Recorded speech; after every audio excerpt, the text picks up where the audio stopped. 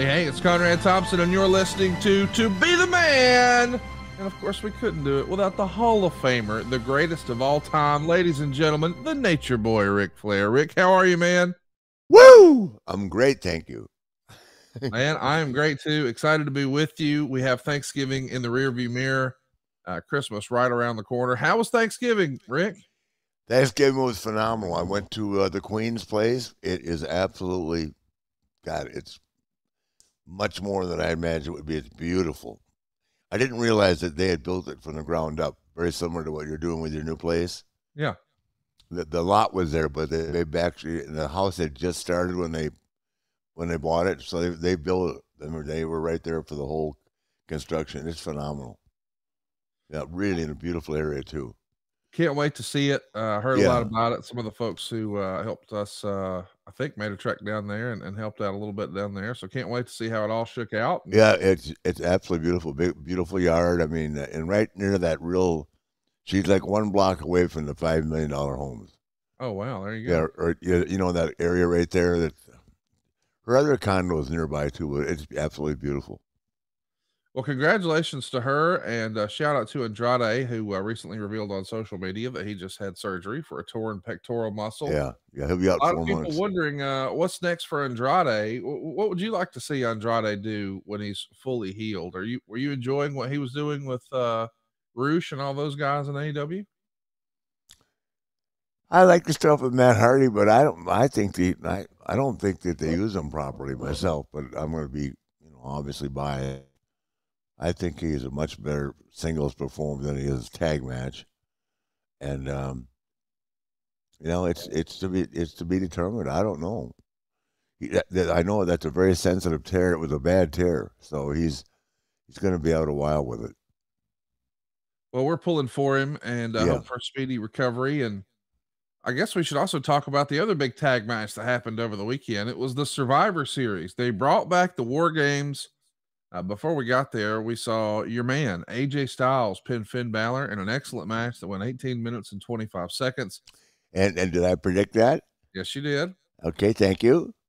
Austin Theory, maybe a little bit of an upset. He is your new United States champion. He beat Seth Rollins and Bobby Lashley in a triple threat for the U.S. title. This is, uh, as Bruce would say, uh, a fresh coat of paint for Austin Theory. I know last week you had predicted it would be Seth Rollins, but yeah, man, they're really trying something with Austin Theory. Have you had a chance to see much of his work? What do you think of Mr. Theory? I have. I think it's pretty good. Yeah, I think he has a, a, ways to go. I don't think he's in the same same league as Seth Rollins yet, but you know, he's right. hey, to be up there in that position, they're all good. You know I mean, and he's young, and uh, the only the only way you find out what's on with the guy is to give him the opportunity. So he's got it now, and we're here. We'll see. We're talking about him a year from now. That's kind of the way I look at it. The uh, rather controversial match on the show was Ronda Rousey and Shotzi. Ronda Rousey retains in seven minutes and 15 seconds, but there was a little bit of a backlash in more recent days. And it all started with uh, a campaign to fire Ronda Rousey. Uh, there is a, a, a podcaster out there, JD from New York, who believes that Ronda Rousey is cancer for the SmackDown division. Doesn't think she's a good wrestler. Doesn't think she adds anything to the WWE. I think she's a real big star. And I think anytime you can get a real big star like that, it, it's worth a look. And uh, I happen to maybe disagree. I, I, understand that maybe she's not as good of an in ring performer as some of the folks who've been wrestling their whole lives, but boy, she brings a lot of attention, I think, to WWE. Where do you land on Ronda Rousey? I I think Ronda's fabulous. And who who doesn't like her again? Well, there's an online contingent who uh, who really don't enjoy her in ring work, and so it was actually trending for a while. It was top ten, I think, on Monday to fire wow. Ronda Rousey, and I just I didn't follow that line of thinking. I, I definitely think that she adds something to the overall presentation and an air of believability to the mainstream and whatnot. And uh, it's anytime you get that level of a star on your program on a regular basis, it's got to be a net positive. Oh, I have to agree. I like Ronda personally. I think, uh, you know, I, sometimes these people need to look at who who, who she's wrestling against. you know what I mean? You're not going to get the same match out of Ronda every time. You know, Well, the, you know- the, it- it- the other the opponent's got to be able to carry their weight too. Well, and maybe some for her. I mean, you're maybe the world's best at that. I mean, back in the day, people would say that Ric Flair could have a five star match with a broom. And along the way, you made some really talented performers like Sting and Lex Luger, and not taking away anything away from those guys, but they were young in their career and you sort of brought them along. Uh, Ronda's had really good matches uh, with folks like Charlotte, and uh, maybe that's just where we need to be. She's got to be with somebody who's uh, been around a, a lot longer than her, maybe. Yeah, I mean, I I think it, it goes hand in hand. But getting back to your point, she brings a lot of notoriety. Yes.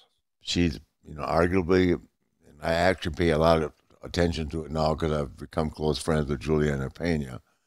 But um, she's she's the biggest box office um, uh, female star that they've ever had at UFC. Oh, for sure.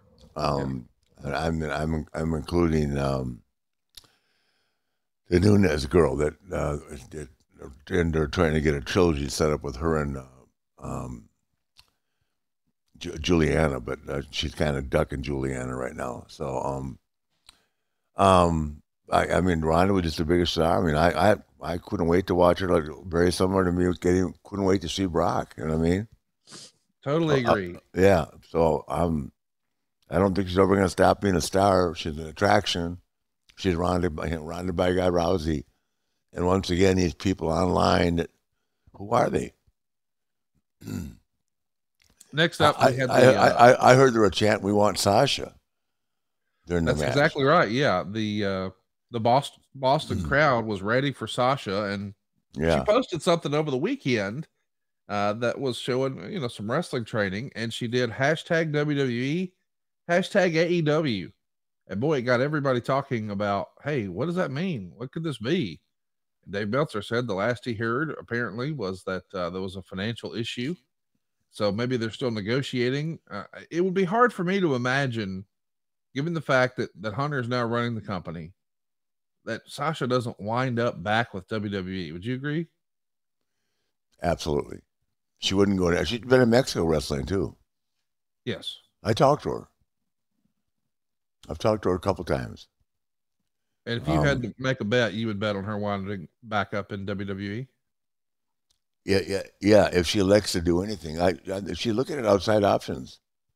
Well, and she's certainly done so well outside of wrestling. You know, you take Yeah. a look at just what she did in the Star Wars universe, and Mhm. uh, I mean, she could live on that uh, on the on the convention circuit for a long, long time. You know, Yeah. between what she's accomplished in the ring and just you know in, in the mainstream. So Well, she's so young. I hope that she gets back into business. I mean, you know, it's she, she has plenty of time, but um, and I, you know, to me, I keep telling she's she's a Ricky Steamboat and Ashley's me.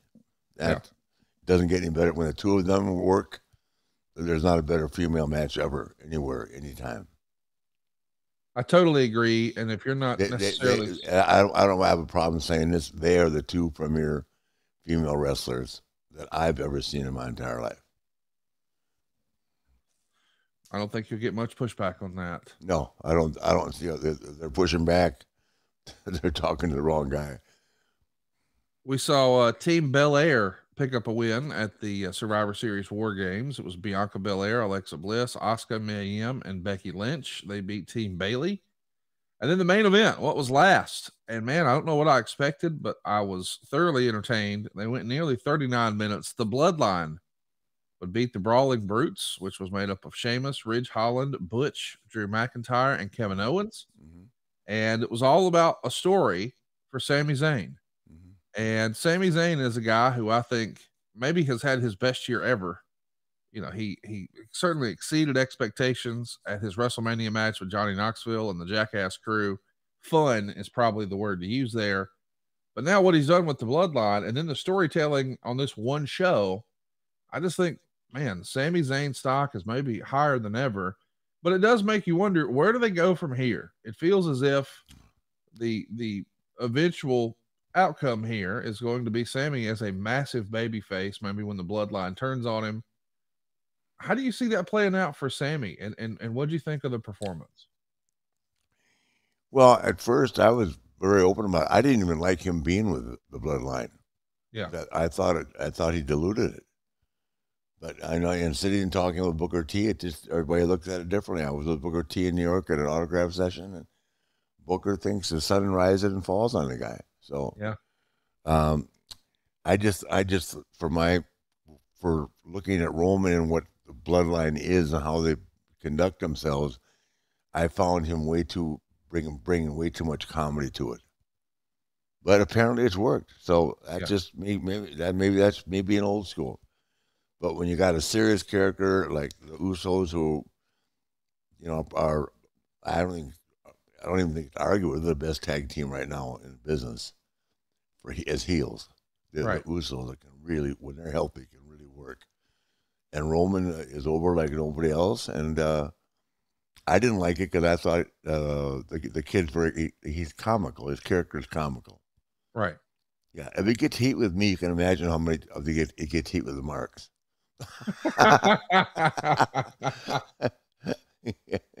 well, there uh, is a rumor out there that perhaps uh, dur- through the course of that match on Saturday in Boston, the main event of the Survivor Series, during that Bloodline War Games match, Kevin Owens perhaps accidentally burst the eardrum of Roman Reigns, and uh, there was some hurt feelings coming out of that. Now, that's Oh, all just been whispers online. I don't, I haven't spoken to anyone to know for sure that that's what's happened, but things like that is that, especially with the eardrum. Do you remember there being circumstances? We've heard stories about Steve Corino and homicide, and perhaps Greg the Hammer Valentine and Roddy Piper. Um, Hell, I've, I've, I've had mine broken. Michael Hayes broke mine. okay, tell us you, about you- that. You get up and go. Christ, it ain't no big deal unless it causes equilibrium problems, which I don't think my equilibrium problems all those years later came from Michael Hayes breaking mine in Miami. I can remember when he did it. Right. But uh, you know, times were different, and we didn't take any time off. We went right, went right to work. As a matter of fact, I had to wrestle Michael an hour that night, so um, I'm sure he remembers it. he broke first thing. It was the first cut into the match. Wow. You know, not but not by not not intentionally, but I'm sure knowing Kevin and thinking what a great guy he is, I'm sure Kevin didn't smack Roman intentionally trying to break his eardrum. Oh no, I can't imagine that. No. Uh, the other big news last week actually happened the day before Thanksgiving. It was uh, a very special edition of AEW Dynamite from Chicago, and it was really a test because we saw in CM Punk's hometown of Chicago Yeah. how was AEW going to handle this? We saw a six man tag with the Elite. Of course, that's the Young Bucks and Kenny Omega. They were taking on the Death Triangle. We think a lot of the Lucha Bros, and of course, Pac is with them. Mm-hmm. And man, what a match they had! It's a best of seven series. It sort of feels old school in that regard, you know, like Nikita and Magnum back in the day, except boy, with the volume turned all the way up. But they did a lot of little things in the match to sort of troll CM Punk and and rile up that hometown Chicago crowd. And the internet, as a result, was convinced, or a lot of folks online, oh, this means CM Punk is coming back.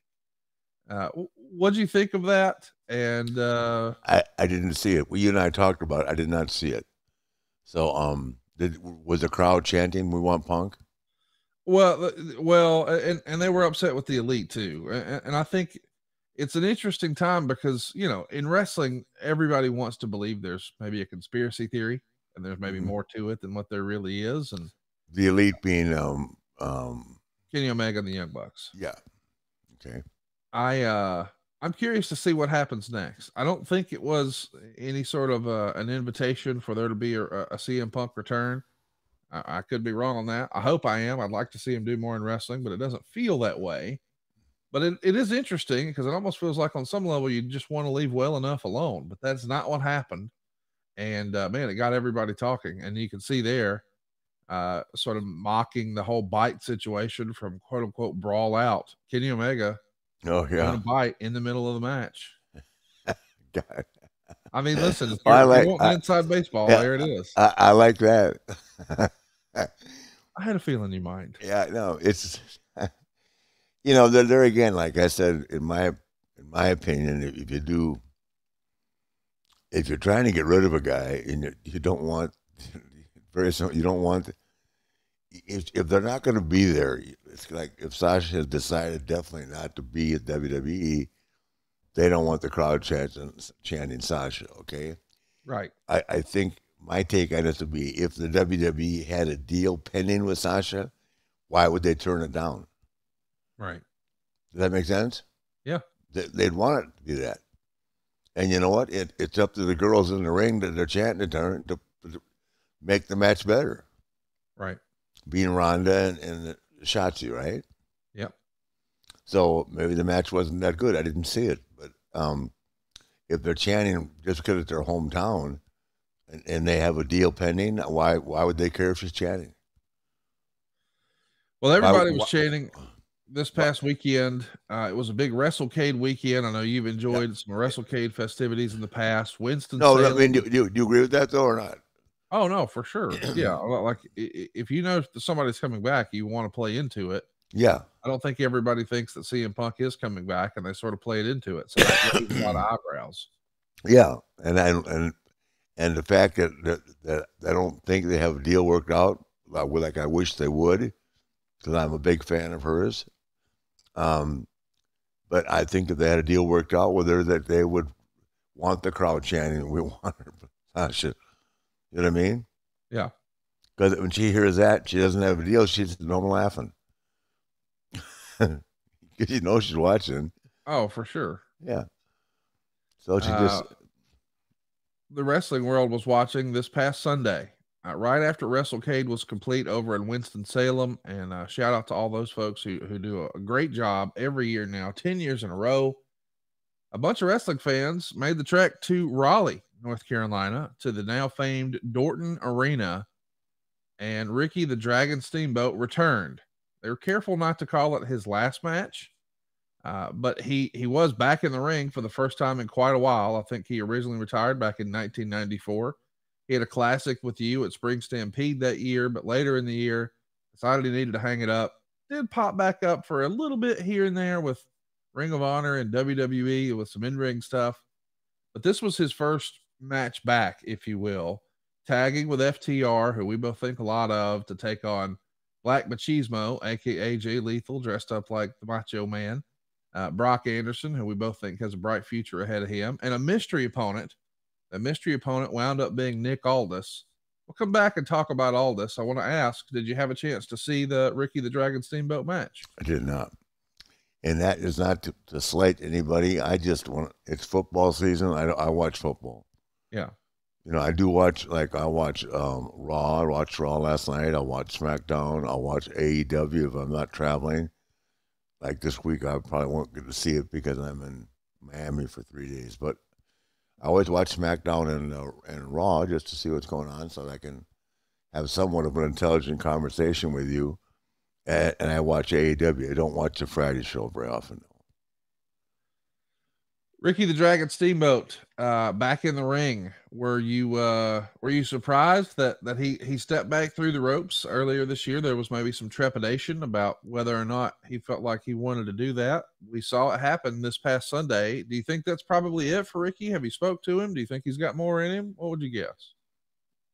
Um, I have not spoken to him, so uh, I I don't know the answer to that. I, you know, I spoke to him when when we were trying to get him to work with us, but you know, he indicated to me back then that he didn't think that health wise, he, he was ready to do it. So I'm, you know, it's what makes him feel good. It's, it's like I say about myself. I could wrestle again right now too, and I and I'd be better than a lot better than I was at the last match. Because when you're gone away from that long, you forget about little things that make a difference, and you spend so much time getting in shape for it that you don't think about you know the little things like dehydrating and you know beating your nerves and yeah. yeah and i was just you know so into the training part of it i forgot about little things um but um i think he should do what he wants to do i mean he's ricky steamboat there's nobody ever going to yeah. be there's only going to be one ricky steamboat and well and, and, whether he did good or did bad it's not going to affect his legacy. He, he's the best bay face in the history of the business. And, and, he, and he always will be. The other best baby face in the history of the business maybe did have his last tag team match. Uh, we'll talk about that in a minute. First, I want to talk about the rest of the uh, folks who rounded out this six man tag for Ricky the Dragon Steamboat's return, Dax might be having Dax of FTR might be having his best year of his career.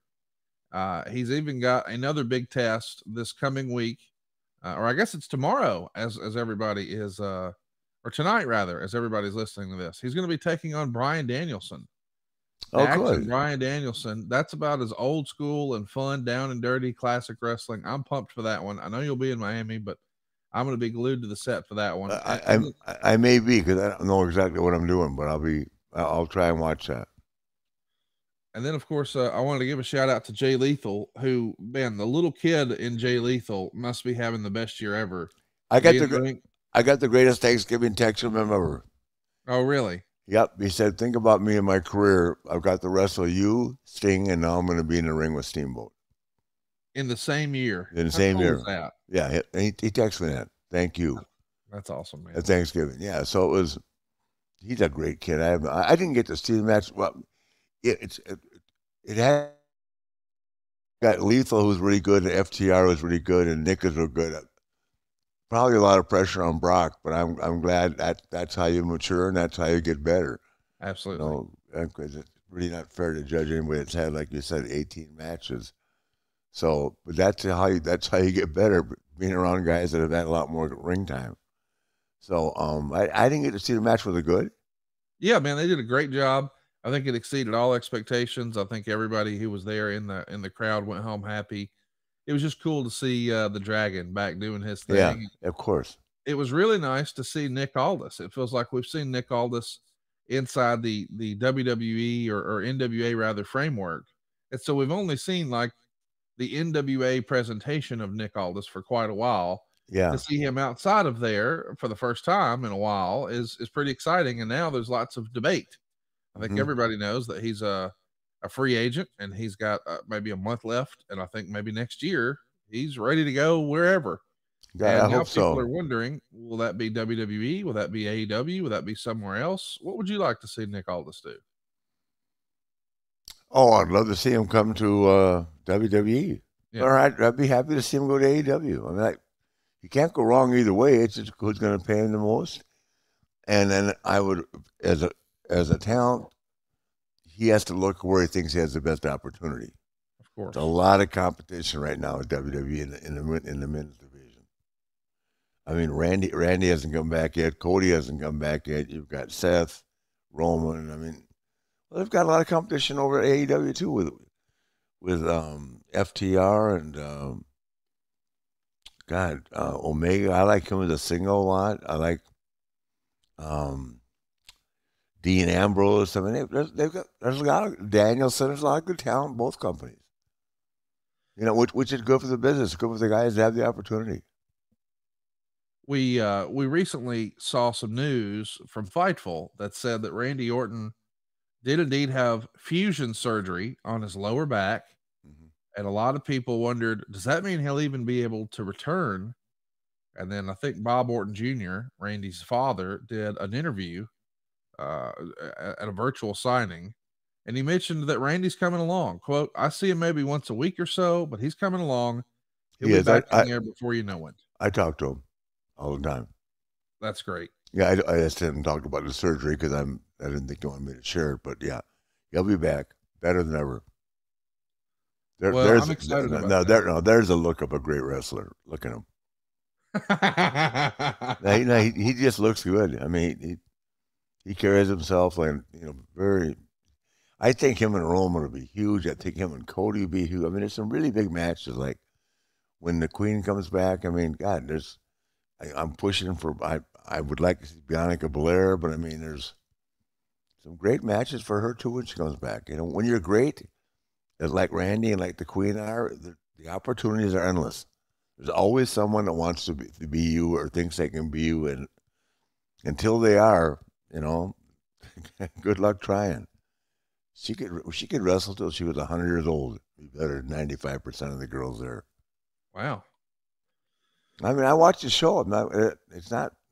Not. I'm not being critical of anybody. I'm just saying that's how good she is. Same with Sasha.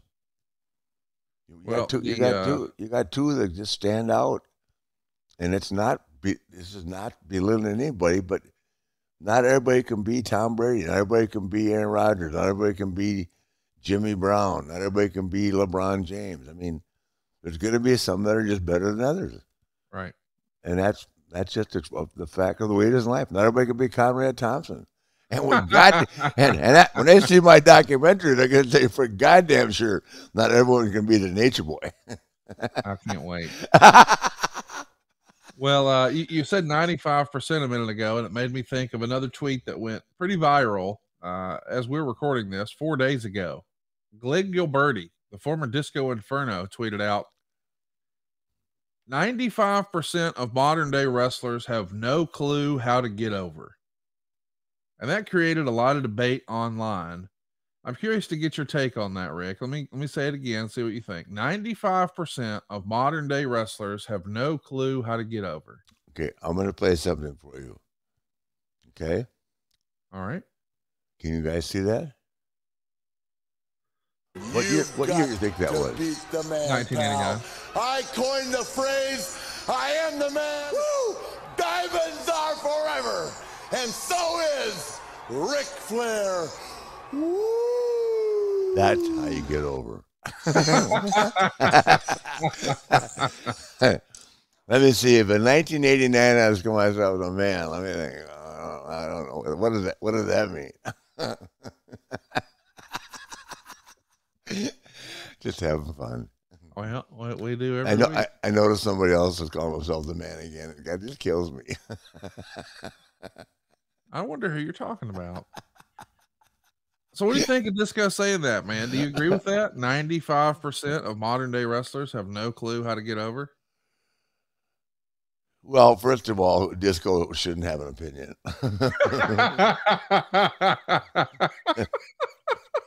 Excuse I love me. you for that. I love Disco, but no, but here's what he. I think probably what he's saying is they don't have to get over anymore because the company gets you over. Yes, they do. You- It's not up to you to get over like it is in the old days. so it's already an unfair. You're an unfair advantage because you're not put in a position of get. You're, you're put in a position of learning how to to utilize your skills. The company makes the decision whether you're going to get over or not. Would you agree? Yeah. I mean, listen, if they're behind you, it's going to happen. If they're not, maybe it's not. That's right. In the old days, if you were so damn good they couldn't hold you back, you went with it, right? Right.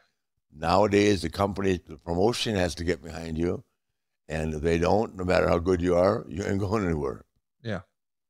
But for the Well, most other part, too, is, you know, for, for the most part, though, for the most part, if you're good, the company gets behind you. Unless you've got some serious problems with them politically, why wouldn't they get behind you? It just makes them money. you take a look at like um, the size of the roster now versus the size of the roster when you were first coming up and getting over, you know, whether it was 81 or 89 or anywhere in between, the roster is much larger than it was back then. I mean, you guys used to run shows where you would have 12 guys on the whole damn thing. Some guys would pull double duty, blah, blah, blah. That's just not the circumstance now. No, no. Well, we had um in the in the eighties we had thirty guys on the card. Easy. Think about it. a lot of six mans, a lot of tag matches. I, I would say we had at least twenty five to twenty six people on the card back in the eighties, in the heydays. Think The idea, though, that you've got 100 people at TV, that's tough. Oh no no no no no no! I meant we would take on the road Yes. uh, like the Great American Bash on tour, we'd have we'd have eight matches. So how Yeah. many, uh, so let's say two of them are tags. Yeah, you said like 20, 22, 24 people. Yeah. And of course nowadays it's like, and, and I, I get it why they do it, but it, it's very hard.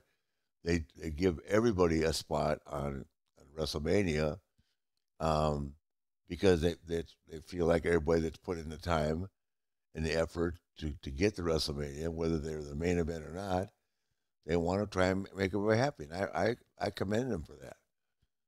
It didn't work like that in the old days. You had to be one of the wannabe people to get there, or they had no problem leaving you at home. Well, the uh the Great American Bash, the good old days. I can't help but think about the Rock and Roll Express. Yeah. This past weekend, they had what many people believe will be their very last tag match. It was their return to Dorton Arena. If that was really it, how fitting that it happened in Dorton Arena. And you mentioned earlier Ricky the Dragon Steamboat, arguably the greatest babyface of all time. I think a lot of people would put Ricky Morton in that same category. What a phenomenal career! What a phenomenal tag team! What do you think the Rock and Roll Express legacy will be in professional wrestling? One of the top ten teams of all time, and Ricky Morton, uh, up like you just said, one of the top ten baby faces of all time. Not, nothing against Robert. Ricky just Ricky just had a different look. He looked more vulnerable.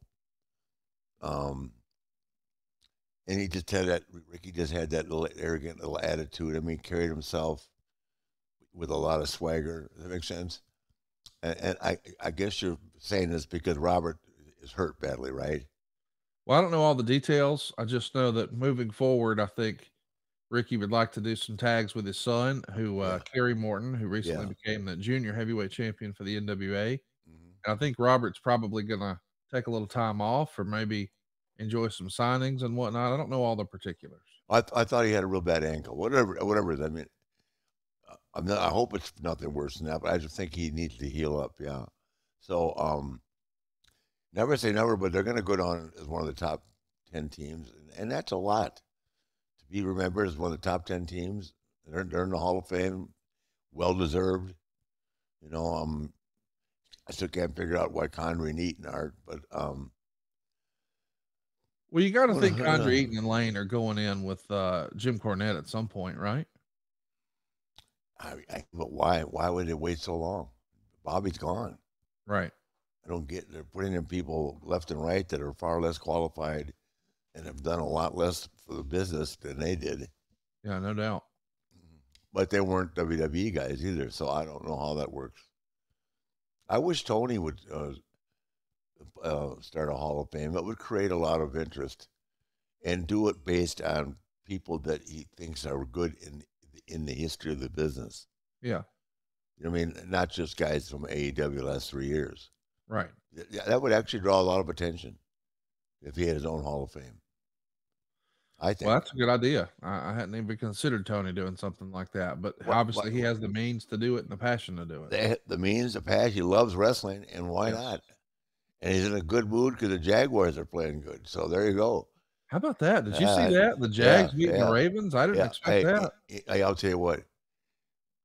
the- get rid- Getting rid of Urban Meyer was the best thing that ever happened to him. And Doug Pederson's a hell of a coach. I mean, Doug Pederson won a Super Bowl, and because he didn't win two in a row, got fired. That's how football is these days. You know what I mean? Yeah. Um, but they- walk away with a ten million dollar buyout, so it's crazy. I mean, I'm wondering, and and you're a sports fan like me. We're getting away from wrestling. How does Urban Meyer get back on TV after Well- all the after all the shit he's been in? Well, if we're going to talk about all the shit people have been in, can you believe that Auburn hired Hugh Freeze? I mean, th- this is a guy who, Who beat Alabama twice? I, yeah, and then he started calling up escort services and got fired. He did what? He used the company phone to hire escorts. Has that been proven? That's against the rules, you know. They don't Is like that that. has that been proven? I don't know all the details. I do think it's hilarious that after one season, I thought that was Rick Pitino at Louisville.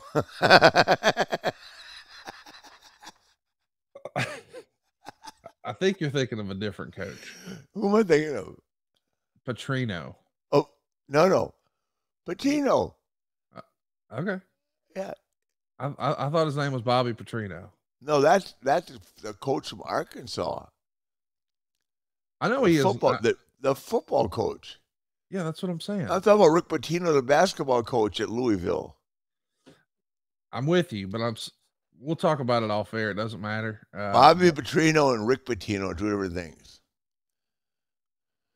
What Rick Petrino, uh, Bobby, Bobby is the one that crashed on a motorcycle with a secretary. Yes. yes.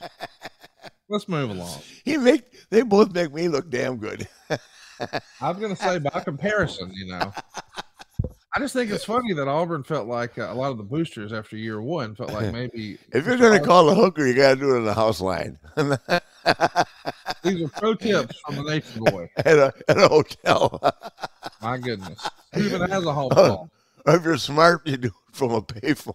a payphone? Where would you even find a payphone in 2022? I don't know. I'd find one if I had. My goodness. Go. You can buy those burners too. yeah, you've been hanging out with the wrong people again. No? I've been wa- I've been watching TV. I'm getting all this new stuff. Burner, look at you. The only burners you know about are Ric Flair drip. And, and by the way, I want to mention just in time for the holidays, if you haven't already, can I recommend you check out RicFlairShop.com? A lot of new stuff just got uploaded. It's the perfect gift for the Ric Flair fan in your life. Wendy, it's plug at RicFlairShop.com. you got coloring books, you got media, you got posters, you got home accessories. You need a hat, you got hats. Uh, you, you want some limited edition prints, you got that. You need t-shirts, hoodies. What are you looking for? It's all available now at oh, RicFlairShop.com. Holy cow, Wendy's plugging you hard. and look, there it is right there. There's a new order coming in from RicFlairShop.com. Don't forget, if you go ahead and get your order in right now, it'll be under the tree in time for Christmas. That's RicFlairShop.com. And uh, before we get into our topic today, because we're having a lot of fun talking about current stuff, I do want to squeeze in a little bit of our topic but I wanted to bring up one more last thing about current stuff. There was a bit of a debate this past week about what has been the biggest story in wrestling this year. Is it the return of Stone Cold Steve Austin to the ring? Is it the press conference and the brawl after All Out that we call Brawl Out with CM Punk and the Elite? Or is it Vince McMahon retiring? In my opinion, it's kind of a landslide. It's Vince McMahon. Yes. The scandal and then stepping away. That Yes. might be the biggest story in decades in wrestling. What say you? well, I would say until you brought that up, uh, hands down it'd be Steve Austin, but that itself with Vince trumped it all. So nobody saw it coming, and out of nowhere, I'm um, you know, I'm I'm very, I'm heartbroken that he's not there anymore. I mean, I I don't know, I don't I don't know the story. I don't know any more than you do, but I just know that he lived and loved that business. I, yes. I, I, hope that he's, you know, finding his way without it because when you put so much time into it, I mean, I know how it, it's still hard for me to walk away from it. I mean, I still like to watch it. I still like to be part of it. I'm looking forward to going uh, to the 30th uh, and to the 30th anniversary. And by the way, of course, social media screwed that up. I have not been invited to the Rumble. I'm going. God, I am going. I'm going to San Antonio to sign autographs separately with Fitterman the day of the Rumble. Yes, I'm not. I was not invited to the Rumble.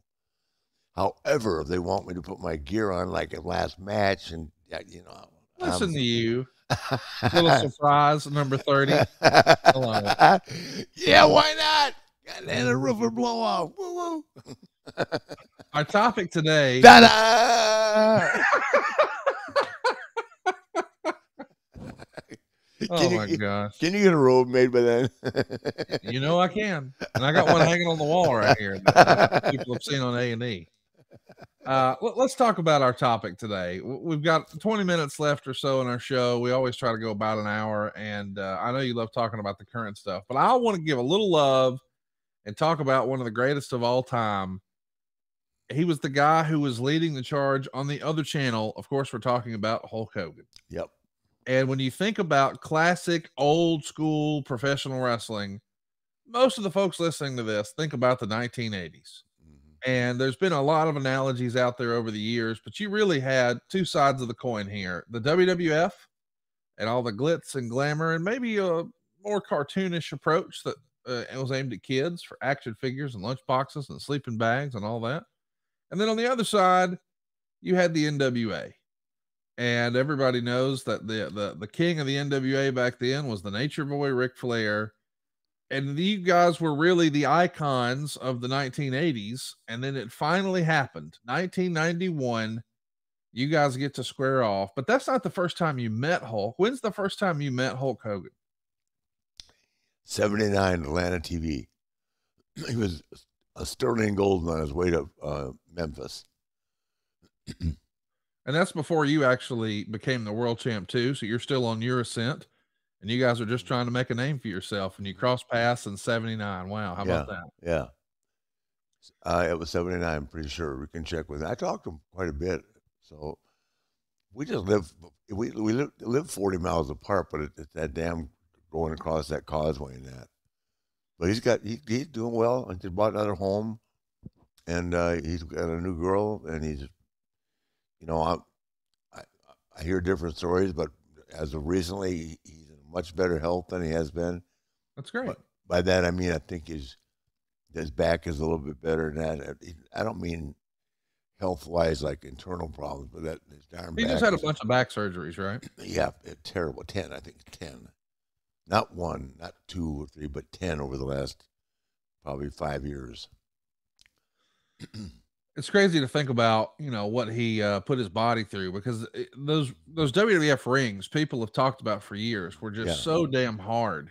And and you wrestled in rings from Japan to Australia to Jim Crockett Promotions to Vince McMahon's WWF. People would say that that ring was by far the hardest. It was almost like falling on concrete and to Louis. do that at 300 St. pounds. St. Louis. St. Louis had the harder ring? Hardest ring in the world. Wow. Yeah, St. Louis, you'd kill yourself. Dory Funk Jr. told me, he said, if you want to get over in St. Louis, take bumps. Because Harley Race is the only one that does it. the truth. Take a slam off the top, and that ring, it, it's like landing on cement.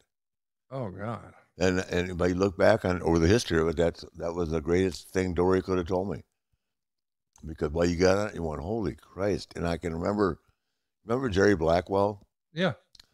And what do they call that? The Samoan drop, where like Kurt, you know, Kurt does it too, right? Where they put you on their shoulders and then drop back with you. Yeah. That, that Jerry Blackwell, that was his finisher, right? Yeah. I, I, I swear to God, he gave me in the St. Louis ring. I thought it killed me. I'm not kidding you. That much. That that's how hard that ring was.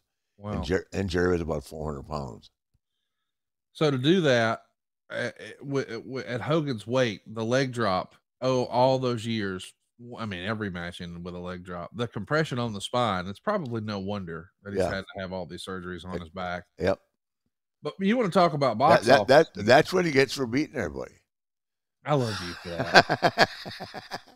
Let that be a lesson to you. It ain't from it it ain't from taking backdrops. I can assure you that. well, that's fair. hey, I tell him that too. I said to Steve, what the hell can you have a bad back for, man? All you do is take a flat mirror from me.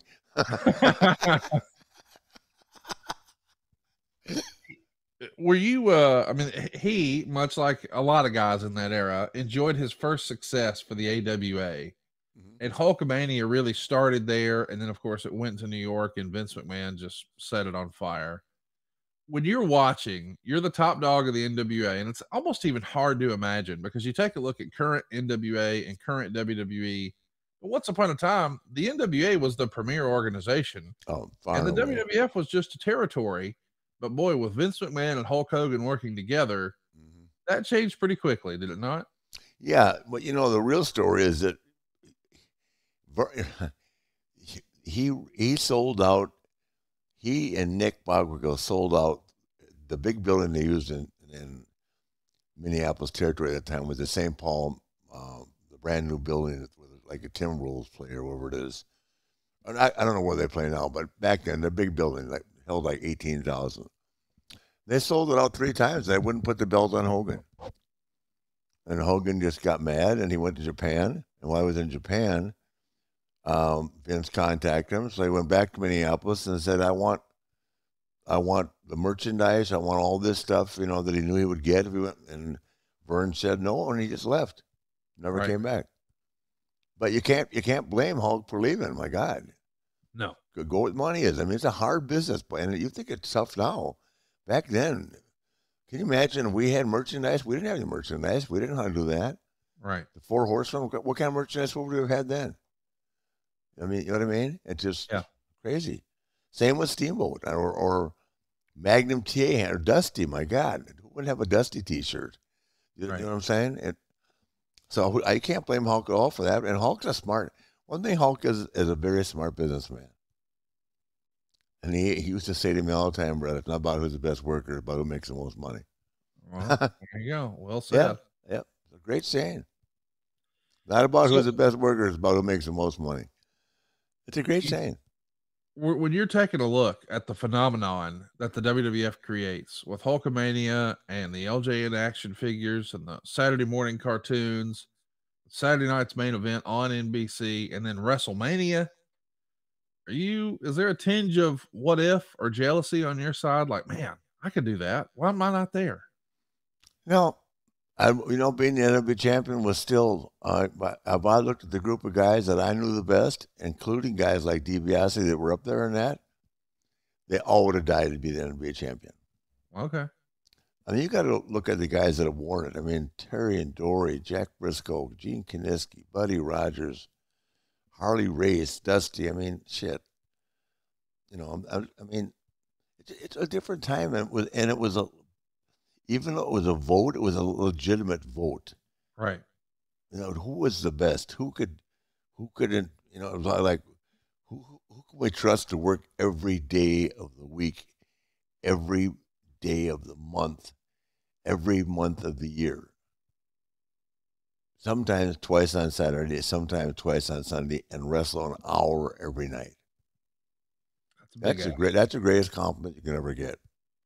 And I don't give a shit what anybody thinks. I don't. My, I don't got to tell my story walking or any, people that understand what the business was about. And they're historians like Taker and Austin people like that. They get it. They know. Yeah. It was hard to being the world champion, but it was the greatest honor in the world. And in you some- finally get your and, and- opportunity. and- and in some towns there were good looking women, and in some towns not so good looking. Oh my gosh. But th- they were women. I had two titles to hold. Good Lord. Wow. He, he, woo! He came to town. God damn did he ever. Those Broadways were happening in the afternoon and the evening. Uh, who, who was that masked man? Sting, Sting. Pete. Uh, we finally get to see you square off against Hulk Hogan, and I think a lot of folks just remember going to the the grocery store with their mom, or at least I do, and you see the newsstand and all those different Apter mags, as we called them. Yeah. We've got all these fantasy matches. What if this guy fought that guy? And I mean, it happened like clockwork 84, 85, 86, 87, 88, 89, 90. It was always, what if Ric Flair wrestled Hulk Hogan? We finally get to see it in 1991. It's October 22nd at a goddamn house show in Dayton, Ohio, the Hara Yeah. Arena, which Yeah. unfortunately is no longer with us. But yes, that's the the same building we saw ECW run pay-per-views. They hosted the first ever Ric Flair Hulk Hogan match. Mhm. And then three days later, we did it again in Oakland, California. Yep. Uh, and, then we did it at the uh, LA Sports Arena on the 26th. Yep. The 27th, we did it in Tempe, Arizona. And we wouldn't try it again uh, un- until November, where we would try it in Pittsburgh. We tried it in Milwaukee. We tried it in Moline and Champaign, Illinois. We tried it in Denver. We tried it in Cincinnati.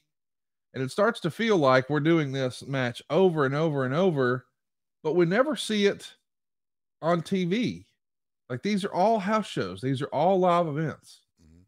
Uh, you, you, I'm curious, what was it like to finally be in the ring with Hulk? Did you Oh, feel the was great. emotion from the crowd? Did it feel like a big Ah. deal? Yeah, it was huge.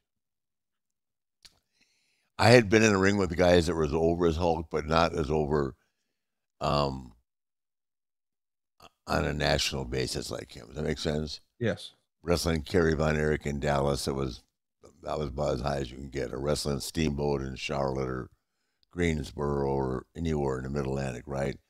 Wrestling Dusty in Atlanta, huge. I mean, or Miami, or I mean, I've been in, in, in some big, really big time guy over matches, but um, I got to admit when Hogan's music hit, like in Chicago and that, it was it was insanity, and it was so easy. We had really good chemistry. Took us about three matches to figure it out. He told me he didn't press slam like Luger, and I, he gave me tell me he gave me his side of the story, and I gave him mine. And I said, "Hey, I'll do whatever, whatever you want. I'm I'm very limited. I just chop a guy, I drop a knee on his head, I cut myself, and I I'm easy to get beat. I'm easy to beat." Right.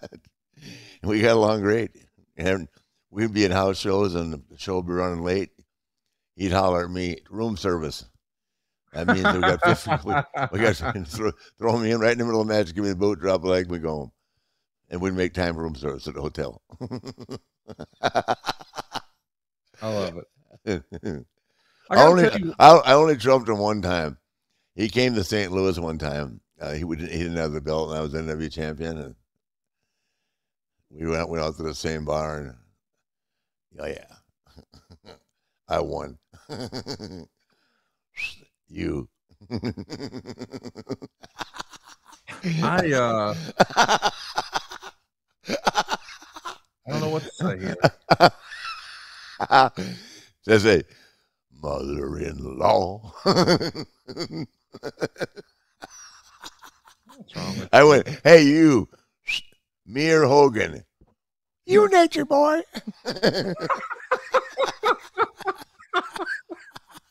What's wrong with you? Ask him. I, uh, that AWA shit wasn't cutting it in St. Louis. I just love the idea of you guys finally getting in the ring together. Yeah. And of course, we all anticipated, well, this is going to happen at WrestleMania. And of course, it didn't happen at WrestleMania. But what stuck out like a sore thumb to me is is we would see you guys do this match all over the country. Mm-hmm. And perhaps I would just think man, the Omni, when you guys do this in the Omni, you're going to have people hanging from the rafters. We see a photo there of when it happened in Madison Square Garden.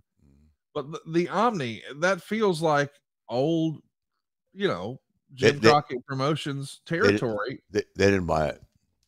4,500 people showed up to the Omni to see Ric Flair versus Hulk Hogan. You, you know what? It, it, no, it's because oh, they just wouldn't, they wouldn't. We used to have put sound bites in. He, he, he won't be upset that I'm saying this we had to put sound bites in in uh, at center stage because they booed him out. Oh, the, the local fans, they weren't Hulk Hogan people. No, no, no. But you know, the first time we really got him to boo me, and and it worked, and it's great. And I didn't know that that pay per view is what launched Nitro. Since then, Hulk have told me. Of course, Eric would never tell me that, or pay me rightfully was the match we had in Orlando with Shaq and me and Sherri against him and Jimmy. And I do think we had a good match that day. It was entertaining. It's never going to be, you know, like a, a technical, not going to be me and Steamboat or Seth and Manny or whatever. You know what I mean? It's not nearly as technical, but we had great chemistry. Sherri added so much to it. And that pay per view is what launched Nitro. Did you know that? Yep, you've told me that here on the show before. Yeah, and I didn't know it till Hogan told me. It's crazy but, but he was, but in that in, in, that instance, he was that was the first time that he was a, a real legitimate babyface, and I was right. the heel. But it took us a while to get there. The uh the first matchup, as we mentioned, Dayton, Ohio, October twenty second, nineteen ninety one. When you come back and you do it in uh, Oakland, there's 13,400 paying fans to see Hulk Hogan and Ric Flair. In Los Angeles, there's 12,400 to see the match. Mm. When you go to Tempe, Arizona, there's only 5,600. And I, I don't know. It's just amazing to me to think about this thing wasn't a bigger hit on the road. I can't because I can't because, because, because nobody knew who I was out there. We didn't have we didn't have the saturation from from cable. Turner's cable wasn't nearly what it is today in terms of saturation. They didn't know who I was. Champaign, Illinois, 6,300 fans. Uh, Denver, Colorado, 6,400 fans. Cincinnati, 6,000 fans. Boston, well, you didn't do it in Boston. That was you and Piper. I'm just saying. It, no, no, these, no. Boston was sold out the night for the Royal Rumble. The uh, oh, 1992. That's what I wanted to mention. 6,000 folks uh, uh, in Hamilton uh, up in uh, Ontario. That That's a good know, that- crowd. That's a good crowd for Hamilton. the uh, you're exactly right though. You and Hogan had a fifteen thousand person sellout January eighteenth in Boston. Yep. Uh, do you remember? Do any of those matches stick out? I think the first one, maybe it was in Oakland. It was either in Oakland or or, or Dayton. It was like title versus title. You had the big gold belt. He had the winged eagle title, and it looked like they were going to make you the ch- the winner. You hold up both belts, then they reveal it's a dusty finish. The belt didn't really change hands. Yeah. What was the reaction when you guys pulled that angle and you held up both belts? Longtime wrestling fans had to be like, I can't believe my eyes here, right? Yeah. Yeah. You know, it, it got over. But like I said, the problem, I, I'm the first to admit this. I never was a big card in New York. Okay. I mean, I just wasn't. I didn't have enough TV. Now, if you put me in that situation now, I mean, I thought I, I was much, I was over much better when I was in my mid fifties there than I was when in '92 because Turner's TV, Turner's TV was Ohio, anywhere from Miami all the way to Charlotte to Baltimore to Philadelphia. After that, it was it was we were very lame. That's why when we went started going to uh, to Bal- to Philadelphia to the small arena, they they they would sell at the Spectrum, we would sell at the small arena.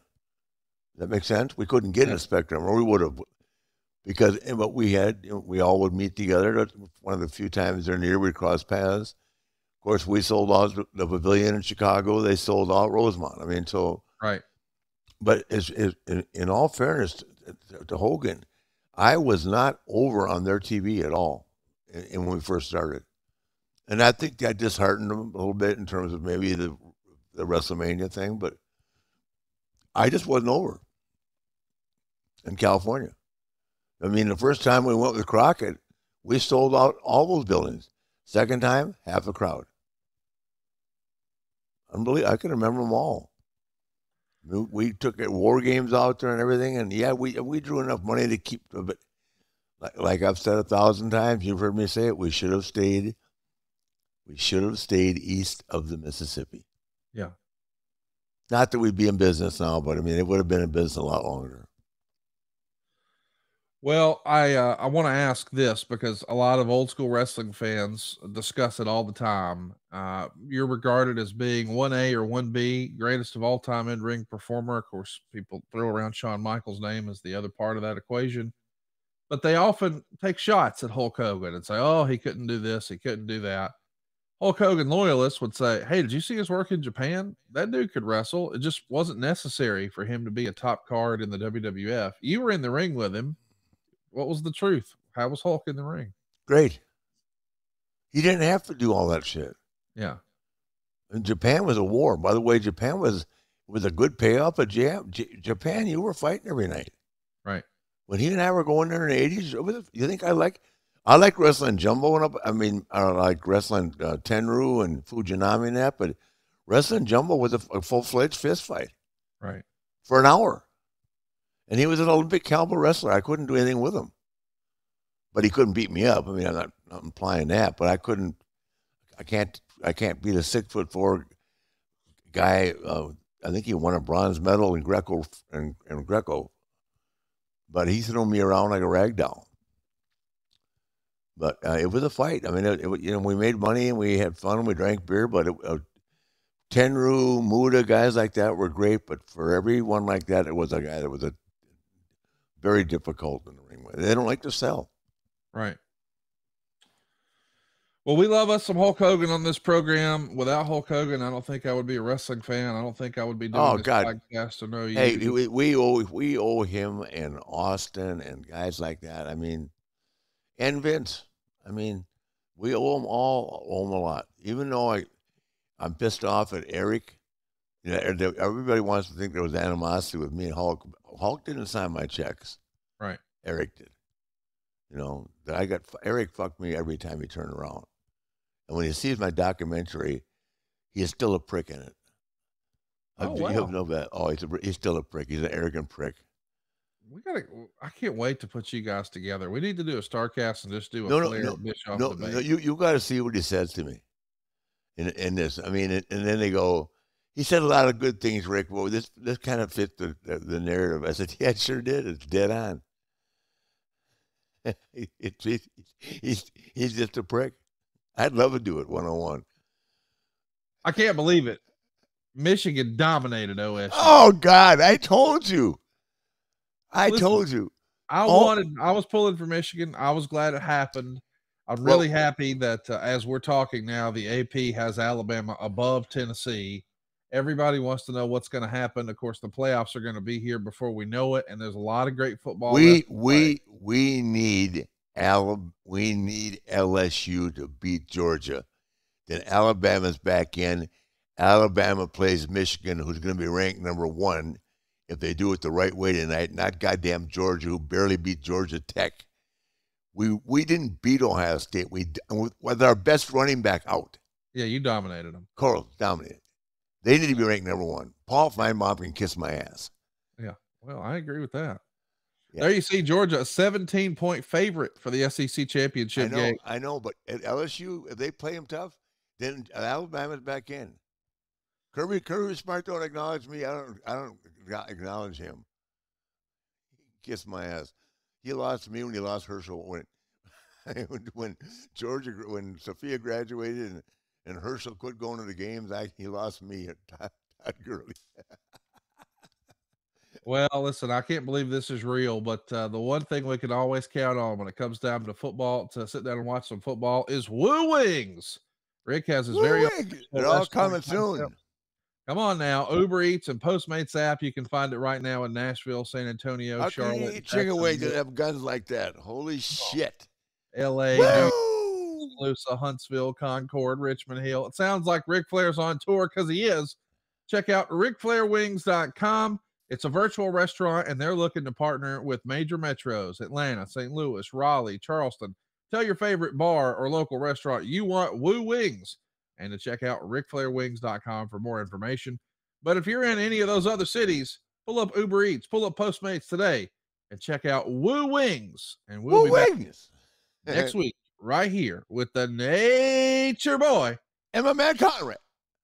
on To Be the Man. Woo! Ric Flair drip go woo on a pitch. Woo!